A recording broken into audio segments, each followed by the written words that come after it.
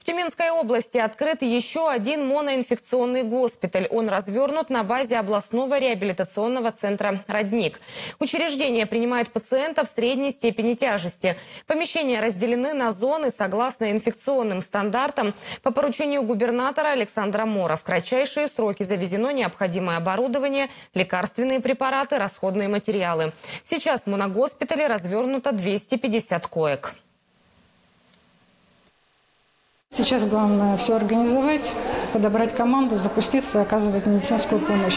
А все шероховатости или какие-то проблемы будут решаться уже по ходу реализации программы. В Тюменской области накоплен э, мощный опыт по организации моноинфекционных госпиталей, обсерваторов, лечебных учреждений. Мощности эти увеличиваются по потребности. И при работе в госпитале привлекаются люди, которые имеют опыт работы в инфекционных отделениях, моноинфекционных профилей.